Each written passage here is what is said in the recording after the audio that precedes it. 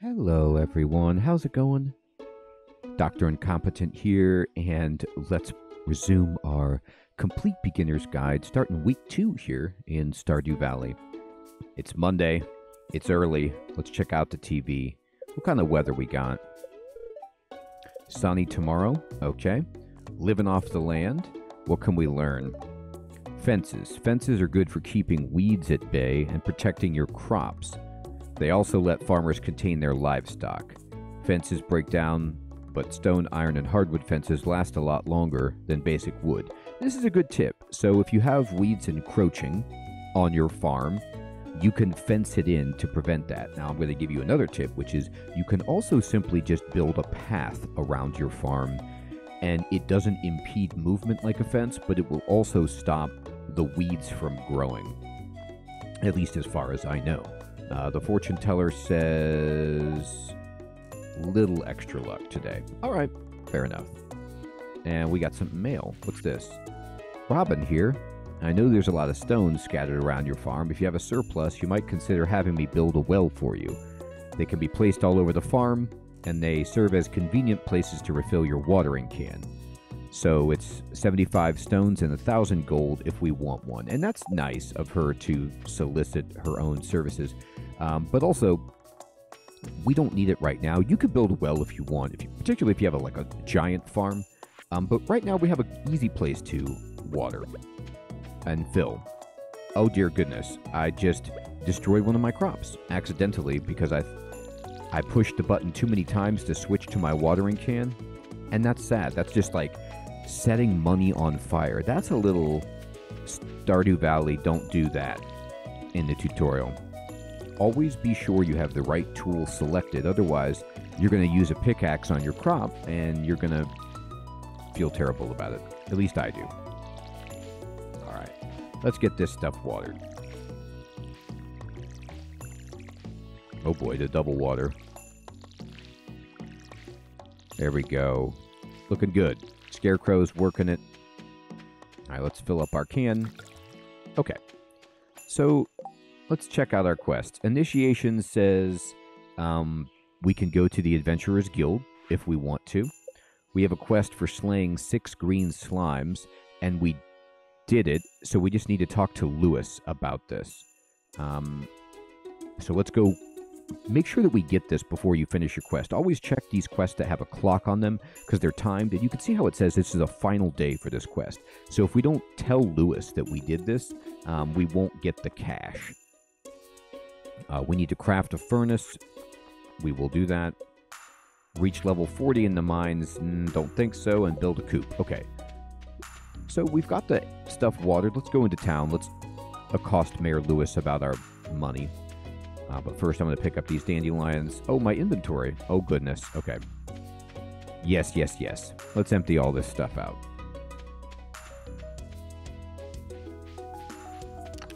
All right, and we'll just kind of add... Oh, look at this. We've got some community center items.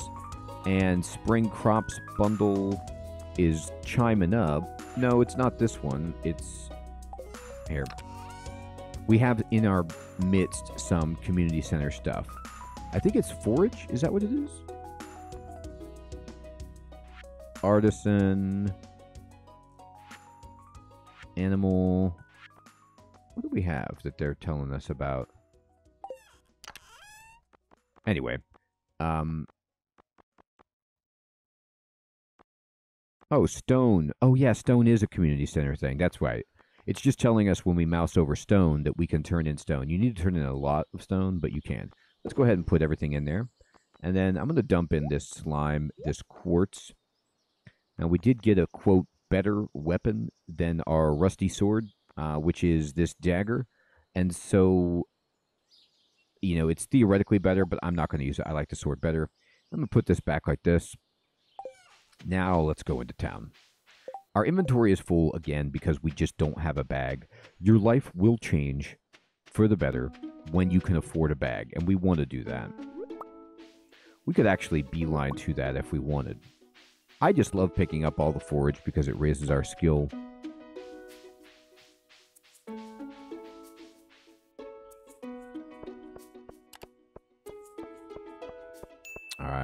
So Mayor Lewis is usually out by his house, like working on his garden. Let's see if we can find this dude. He's not, so maybe he's in his house. He is. Hey! So you talk to him and he says, So you helped me with our slime problem. Thank you. I hope you didn't go through too much trouble. I know it could be really hard to get that sticky slime out of your clothes. All right, Lewis. We didn't need to talk about your sticky slime problems. I've definitely ruined a few good pairs of pants trying to catch those little wigglers. I'd love to see. It's like, does he really go into the mines? We'll see. I remember Mama throwing a fit after I got silvery slime all over my brand new silk pants. Silk pants probably aren't the best for cave digging. Um, anyway, enjoy your reward. Thank you. All right, so you got to go into your quests. You got to go slay monsters and then click on the money and look at it just roll in. The town's lost and found box. Pelican Town ledger book. And he uses this to keep track of the, the town's finances. I bet you do. All right. Okay, so now we could go to the Adventurers Guild. We could also pick up that daffodil. You can talk to Marnie and be like, hey, what's up? I love animals, Mr. Doctor Incompetent Tutorial. If you treat yours well, I'm sure we'll become good friends. Speaking of good friends, would you like um, a flower? Thank you. This looks nice. Yeah, she's like, eh. We got a new quest. Um, she wants seaweed, and she'll give us 60 gold, and it'll make her happy. So, fine. We can get Caroline some seaweed. No problem. You can check on this backpack, and it is 2,000 gold. So, you know, 25% of the way. it's going to take a while. So, in the meantime, seaweed, well, we can go down and try to find some, sure. Oh. Another daffodil.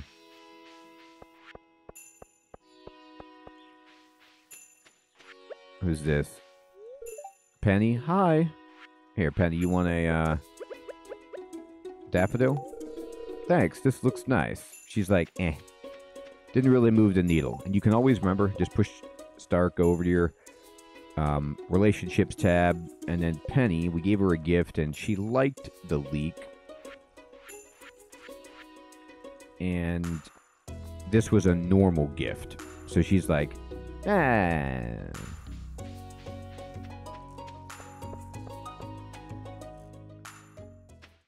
Sometimes you have to get something a little nicer for these people. All right. Seaweed. Easiest way to get seaweed is to just fish.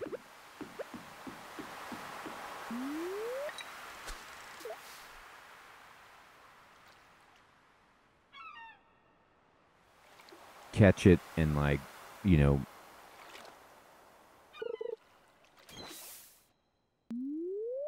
That didn't go well.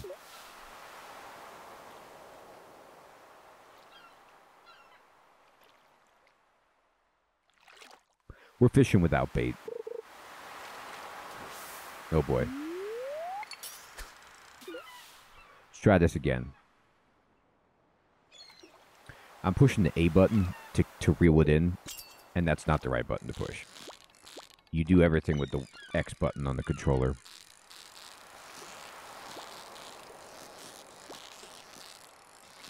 Alright, this is not seaweed, unfortunately. It's an actual fish. It's a sardine.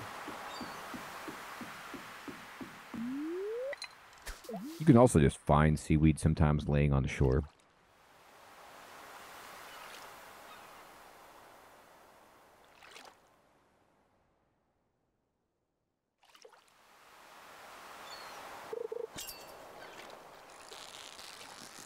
Come on, seaweed. Now there's a treasure chest, which would be great to somehow get. Oh, we got it. That was lucky. And what did we get in the treasure? Coal. That's kind of a hit below the belt. I'm going to just cast like as minimally as possible to try to get some seaweed.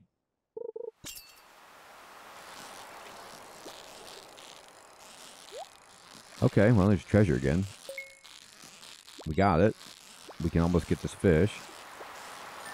Got it. It's another anchovy. And what's the treasure? We can get some bait and some wood. You know, both of these are pretty good. So what I'm actually going to do is uh, throw away the silver quality anchovy. It's not great. Gold quality you want to hold on to. Silver quality, eh, okay, sure. Now with bait, what you can do is you can go to your fishing rod and you can actually um, pick this up and then put it on your fishing rod. All right, that was funny. I kept trying to attach the bait. You can't attach bait to the bamboo pole. That's right. I forgot about that. It's the worst pole. It doesn't start with a bait slot. You need to get a fiberglass or you need to get a better pole basically to attach that bait. So sad but true.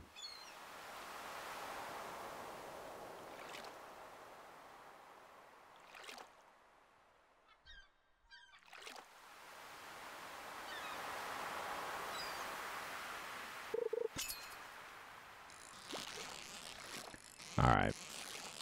So this might not be the best way for us to catch seaweed, but it is a good way for us to raise our fishing skill. Boy, this fish is really staying on. Oh boy. Giving us trouble is this fish. There we go. It's a big one. It's a flounder. It's our first time catching it. So we'll take the flounder. Um, actually, I'll take it instead of this bait. Because bait's easy to get. It's cheap. And let's bail.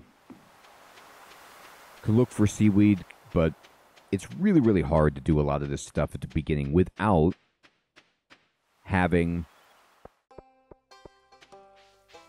um, a, a bag to hold your stuff. You know, the inventory is just so small at the start. But that's okay. So we turned in the quest, we got the money, we did a little fishing, we did some foraging, we gave some gifts.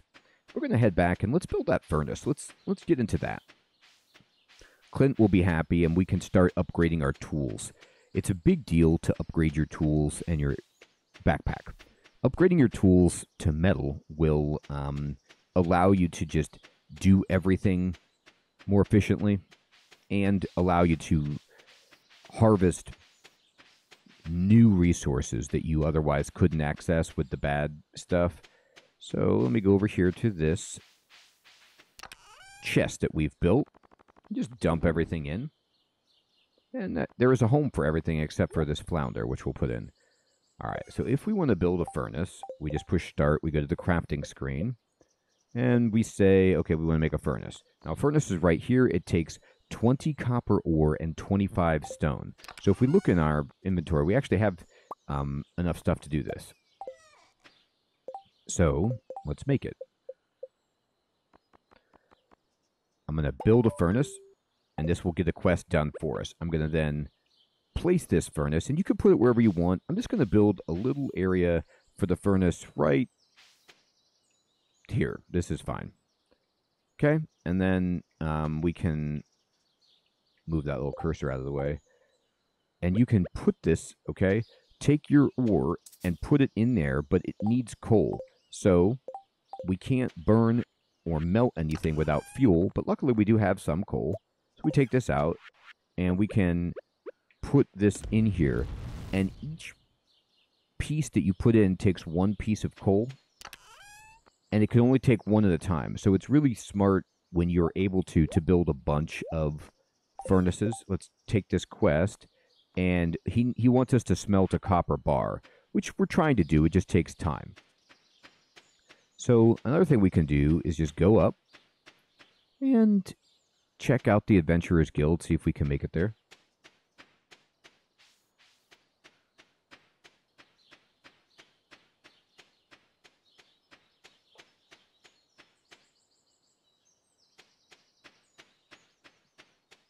Linus, what is up?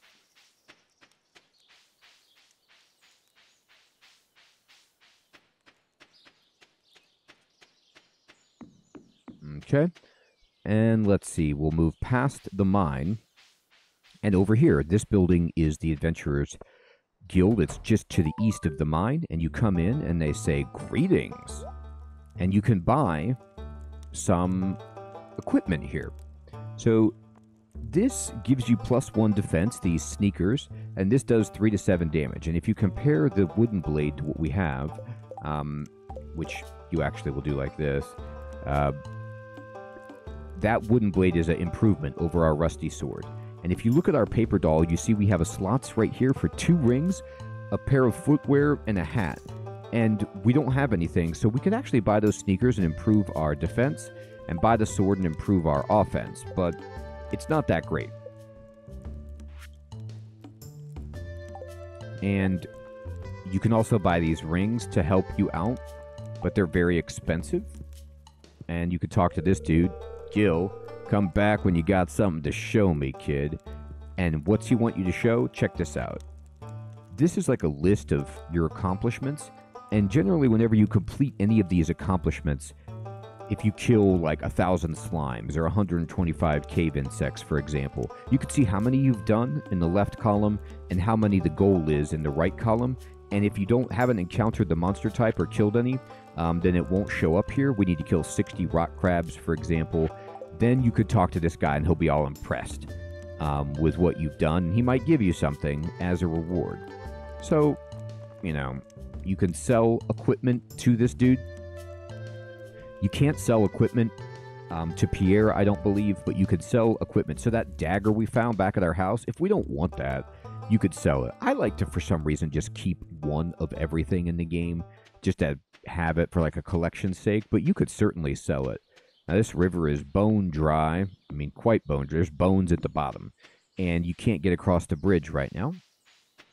But you know what we can do is go down in the mines. And it's 6 p.m. already, so it's not great. But we could just head down there. And what did we leave up here? We left all these seeds. That's right. We need to get these planted. My goodness, I forgot. Coal. Um, oh, let's take this to the museum. Yes, yes, yes. Boy, there's a bunch of things we need to do. Now, it's too late for Gunther at the museum, but I'm going to get these seeds in the ground instead of working at the mine.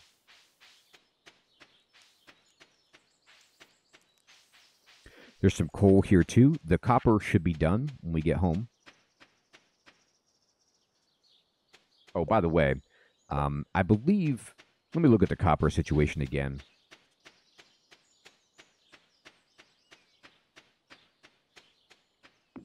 Before I uh, clarify this, but here we go. Let's go down. Yep, there's the copper bar. Now watch this. Um, let me open this up put stuff in here. Let me take out some copper and uh, this coal. I'm going to pick this up. Okay, I have nine copper, right?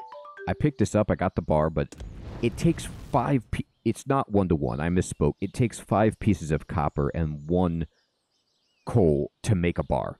So generally, you need five pieces of the ore plus uh, coal to make what you're looking for. So we did make the copper, and um, we finished the quest.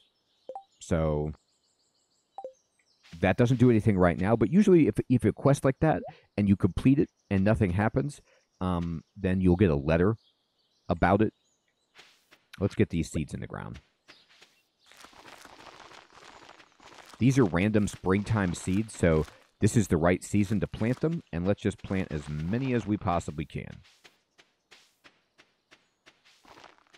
Or if we need to get some more space, we just got to go to our hoe and just till the earth like that.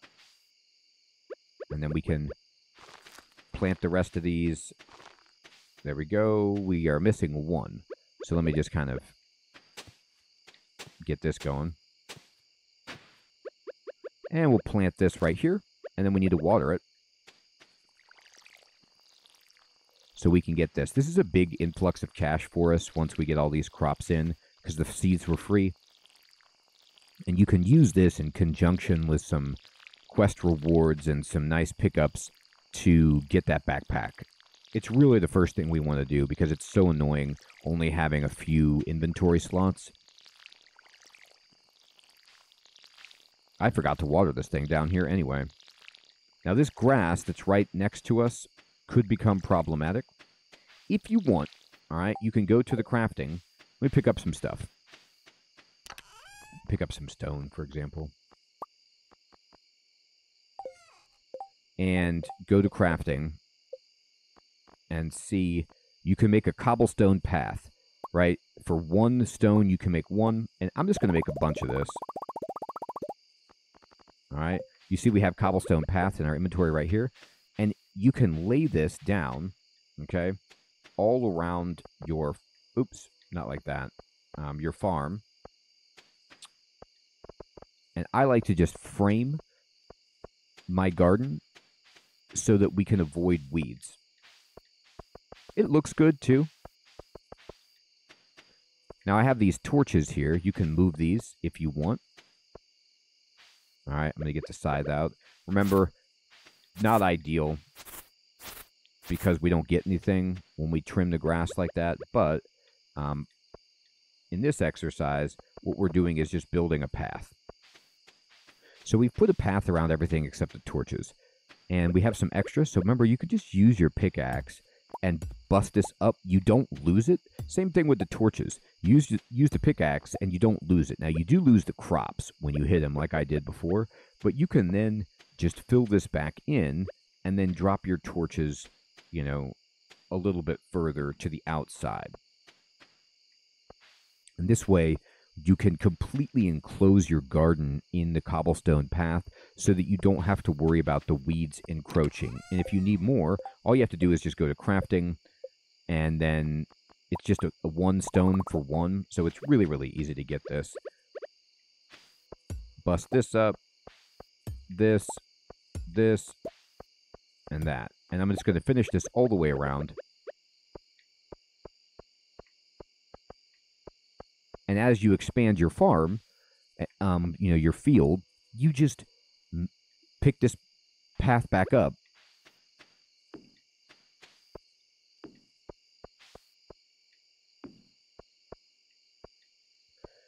And, you know, might want one there.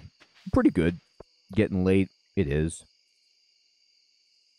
I'm happy with this. Sometimes, if you want, you can just extend your path like this so it connects to the path out of town, you know? And uh, just kind of give your place a little aesthetic feel. We need to take this scroll over.